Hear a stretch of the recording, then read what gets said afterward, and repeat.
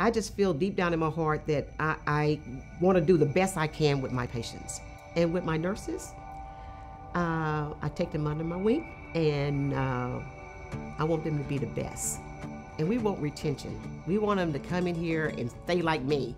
I have worked here for 31 years. I love what I do, and I've stayed here because I want to take care of the people that cannot help themselves. They come here and we make them feel like they are really loved and we're going to help them get better and get out of here. And that's what I love about being here at OSU Medical Center.